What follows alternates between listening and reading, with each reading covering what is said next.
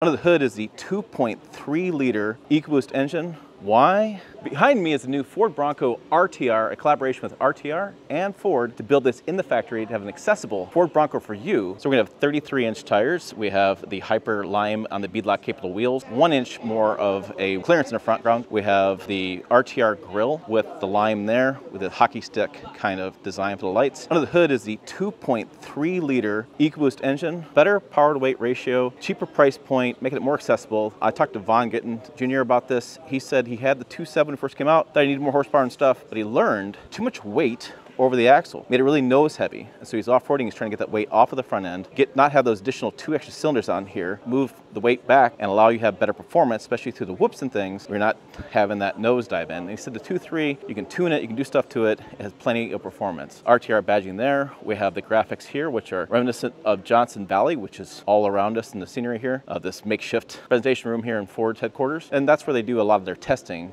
on this vehicle.